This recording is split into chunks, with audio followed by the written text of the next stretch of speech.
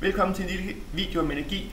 Energi er et utroligt vigtigt begreb øh, i fysikken og i samfundet som sådan. Hvis vi tager samfundet, så tænk bare på, hvad der sker, hvis øh, mobilen ikke har strøm, hvis der øh, er, varmen forsvinder om vinteren, hvis der ikke er benzin på bilen, øh, ingen lys. Det, er, det, er ikke, det, det, det kan vi ikke forholde os til at klare, og vi går øh, vi gør rigtig meget for at beskytte os mod mangel på energi. Går i krig i Irak for eksempel for at beskytte strømmen af olie. Øh, så energi er basalt for vores dagligdag og også for en masse storpolitik.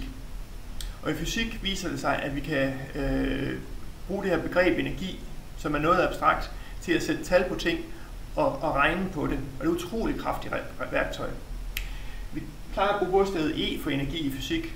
Enheden for energi er joule, Joule er opkaldt efter en skotsk brygger, som eksperimenterede med energi i sidste 1800-tallet. Og fordi det er opkaldt efter en fyr med øh, navn, så skrives Joule altid med stort, i modsætning til meter, som skrives med lille. Der var ikke en fyr, der hed meter. Øhm, det viser sig, at vi kan ændre den her abstrakte størrelse energi ved at arbejde på et stof, eller ved at tilføre varme. Og arbejde det skal forstås på en snæver fysisk måde. Hvis jeg har en Linus her, hvis jeg så flytter ham et stykke med en kraft, så har jeg lavet et arbejde på ham. Så jeg hiver ham i ørerne med en kraft, hiv, så har jeg lavet et arbejde på Linus og tilført ham noget energi. Og hvis jeg lader tyngdekraften lave et arbejde ved at lade ham falde ned, så får jeg energien igen. Så bumser han ned, og så bliver energien til varme i min hånd. Øhm. Så lad os lad arbejde være på det niveau med at sige, at vi tager, hvis vi tager skubber til noget med en kraft, en vis strækning, så har vi lavet et arbejde. Og, og hvis der er et eller andet, der kan flytte noget, øh, så er det fordi, der er energi til stede. Øh, omvendt så har vi, at hvis vi ikke tilfører varme eller arbejder, så ændrer vi ikke energien. Så har vi et isoleret system, så er energien bevaret.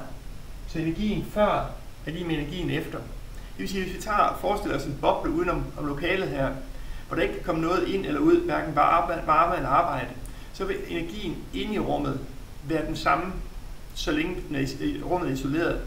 Så der kan ske udveksling mellem forskellige energiformer. Det kommer vi tilbage til lige om lidt. Men der kan ikke opstå energi, og der kan ikke forsvinde energi. Det er simpelthen en af fysikkens grundsætninger. Det her med isoleret system, der er energien bevaret. Det er faktisk så grundlæggende, at da man på et tidspunkt studerede øh, neutroner uden for atomkernen, øh, så viser det sig, at de går i stykker til protoner og elektroner. Og der kiggede man på energien på den her side. Man tog al den energi, neutronen havde, og så så man på al energien for protonen og for elektronen. Hvis man lagde det her, energien sammen på den her side, så var der mindre end herover. Så man kunne sige, at det var et eksempel på, den her gælder ikke. Men den har været så succesfuld og været så nyttig, den her energisætning, at man valgte at sige, den må stadigvæk gælde. Der må bare være noget, vi ikke kan se. Der må være en ekstra partikel her. Man indførte en neutrino, og så øh, sagde, det, det må være den, der har taget energien. Øh, og det virker som, som en desperat løsning, men faktisk så fandt man den partikel 10 år senere.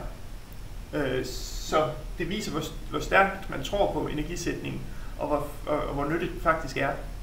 Lad os se på nogle forskellige energiformer. Her har jeg skrevet nogle forskellige energiformer op. Øh, vi har elektrisk energi. Det kan vi få til at lave et arbejde ved at køre det igennem en elektromotor, få den til at trække eller skubbe et eller andet. Øh, så har vi fået lavet et arbejde, så der er altså energi i elektricitet. Kerneenergi er, øh, hvis vi spalter atomer, det kan give en masse energi at få kogt noget vand. Det kan drive en turbine, øh, der driver en generator, som får lavet elektrisk energi. Strålingsenergi solstråling kan komme ned på solceller og blive lavet om til elektrisk energi. Øh, potentiel energi, der har jeg minus. Nu tilfører jeg potentiel energi ved at løfte ham. Så har han mere energi, end han havde før. Øh, og fordi jeg har lavet et arbejde på ham, og slipper jeg ham, så falder han ned, og han får noget hastighed. Og hastighed, ting der bevæger sig, har kinetisk energi, bevægelsesenergi. Så er der kemisk energi. Vi kan få øh, kemikalier til at flytte ting ved at øh, sætte ild til det, så det siger bang, så kan det skubbe ting væk. Eller mere fredelig, så kan vi have batterier, hvor kemiske processer giver elektricitet. Vi kan have federe energi. hvor jeg har mit lommeur her, hvis jeg trækker det, så vil øh, energien, der er gemt i fjederen, kunne få drive uret det næste døgns tid. Og så har vi også varme. De fleste energiprocesser vil på et eller andet tidspunkt ende i varmen, og det skal vi se på nu. Her ser vi en principskitse af et kulkraftværk. Vi har kul her, der bliver hældt ind i kedlen og brændt af. Så får vi en masse varme med meget høj temperatur, og det varmer øh, damp op her, som så kører igennem turbinerne, og det driver generatoren rundt, så den er elektrisk energi, som så kommer ud i huset og bliver til strålingsenergi. Øh, noget af varmen, køle, kølevandets varme, det kører så ud i fjernvarmesystemet og bliver til varme i radiatorerne. Her er også et vigtigt begreb med, med, med fysiske processer. Det er ikke kun, at energien er bevaret, men hver fysisk proces, der vil energikvaliteten falde en lille smule.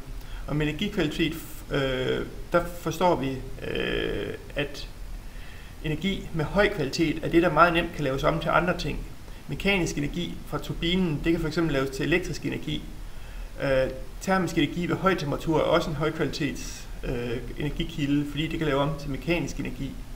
Mens termisk energi øh, af damp ved lav temperatur, det er meget svært at lave om til andre, øh, for, for ikke at sige umuligt at lave om til andre energiformer. Så derfor kan det stort set kun bruges til opvarmning i, i, i huse eller drivhuse eller andre steder. Så energikvalitet har noget med, hvor nemt energien bliver omdannet. Og vi har set et, et eksempel på en energikæde her. Der er mange andre eksempler på energikæder, øh, og man kan også drive den her energikæde længere. Øh, hvor kommer energien til i kullet for eksempel fra? Det kan man øh, spekulere over og se, om man kan følge, følge, følge det tilbage til inden. Inden vi går videre til den næste, skal vi lige prøve at kigge på energiindholdet af forskellige ting. Hvis vi har 100 gram chokolade, så har vi et energiindhold på 2100 kilojoule, altså 21 million, eller 2,1 million joule. Så et joule er en meget lille energi, energienhed. I 100 gram benzin har vi 4000 joule, så 4000 kilojoule. Øhm, og i skummemælk af 100 gram, der er 170 kJ. I smør er der 3000 kJ, og i trotyl er der 400 kJ. Det lyder faktisk lidt underligt, fordi hvorfor må vi så købe smør i brusen, når vi ikke må købe trotyl? Og for at besvare det spørgsmål, der skal vi bruge et begreb, øh, eller så skal vi have en idé om, hvor hurtig energi bliver brugt. Og det kigger vi på nu. Det er ikke kun, hvor meget energi der er i et stof, øh, der fortæller noget om, øh, hvor ødelæggende det er. Øh, det er også et spørgsmål om, hvor hurtigt energien bliver frigivet. Øh, så derfor indfører vi øh, begrebet effekt, som er energi divideret med tid. Og der bruger vi øh, bogstavet P for effekt, og E var det for energi, og T for tid. Så effekt, det måler vi i watt, og da øh, det er energi per tid, så er det det samme, watt det samme som joule per sekund. Watt er op, i øvrigt også opkaldt efter en skotte, James Watt, som opfandt dampmaskinen. Øhm, hvis vi skal se på, hvorfor smør må sælges i brusen, mens øh, trotyl, sprængstof, ikke, kan, ikke må, så kan vi se her, at e- øh, effekten af smør, der er 3000 kJ i 100 gram smør, og det kan vi forbrænde på, vores krop kan forbrænde på omkring 8 timer. Hvis vi spiser 100 gram smør, så kan vi køre 8 timer på, på den opladning. Og hvis vi dividerer de to tal med hinanden, husker der kilo betyder 3 nuller her, så får vi, at smør har en effekt på 104 watt. Det er sådan relativt beskeden, som en stor gammeldags glødepære. Men øh, trotyl eller TNT, der havde vi 400 kJ for 100 gram. Det er mindre end smør, men fordi forbrændingstiden er noget mindre end smørs, 0,001 sekund, siger vi, så når vi dividerer de to tal, så får 400 gange 10 i 6, altså 400 millioner watt. Og det, det er et, et stor effekt. Så derfor har TNT simpelthen for stor effekt til at måtte blive solgt i brusen. Øh, jeg kan også demonstrere det ved lyset her.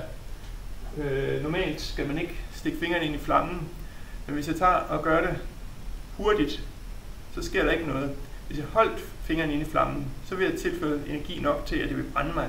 Men kort tid, der sker der ikke noget ved at føre fingrene igennem flammen.